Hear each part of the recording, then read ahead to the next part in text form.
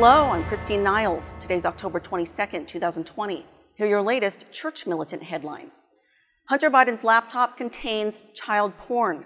Former New York Mayor Rudy Giuliani confirmed he's turned over the contents to the Delaware State Police. I've seen I it. turned it over to the, to, Let- to the You turned, turned it, you it turned over it to over the- to the Delaware State Police, correct? yes yesterday. Bernie Kerik and I turned it over to the Delaware State Police because we're right. very uncomfortable with this. So we're look- very uncomfortable with the fact that these underage girls were not protected. Delaware police have since referred the contents to the FBI. The FBI and the DOJ are rejecting claims that the Hunter Biden story is Russian disinformation. Tuesday, a senior official confirmed with Fox News that both the FBI and the DOJ agree with the Director of National Intelligence, John Ratcliffe, who confirmed the story does not involve Russian collusion. And in a letter to Congress yesterday, Jill Tyson, director of the FBI Office of Congressional Affairs, said, referring to Ratcliffe's words, quote, "We have nothing to add at this time." Pope Francis is expressing support for gay civil unions. In a documentary released yesterday, the pontiff argued for legal protections for gay couples. Quote, homosexual people have the right to be in a family. They are children of God. What we have to have is a civil union law. That way, they are legally covered, close quote.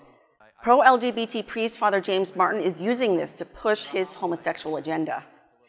The New York Times is erroneously denying Black Lives Matter's connection to the occult. The publication attacked radio host Carina Moncada for tying BLM to witchcraft, saying the allegation is false. But co founder Patrisse Cullors has openly admitted the movement is closely tied to the occult.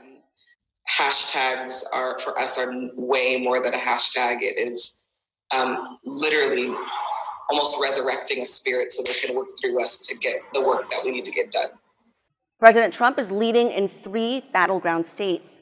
The latest Trafalgar poll, known for its accuracy, shows him up in the key state of Florida at 48% to Biden's 46%.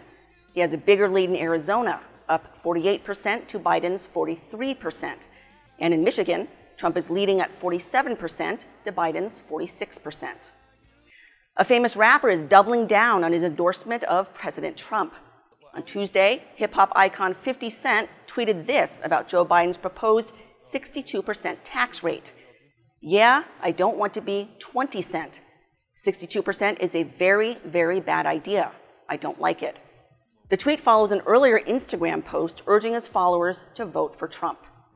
I'm Christine Niles. Those are your Church Militant headlines. Please watch The Vortex today, where Michael speaks with Steve Bannon. God bless you.